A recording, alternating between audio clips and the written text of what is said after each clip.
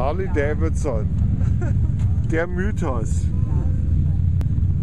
Elektra-Kleid, 30.000 Euro, fabrikneu.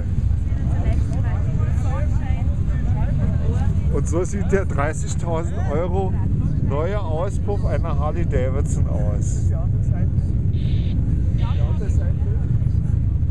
Ein nagelneuer Auspuff.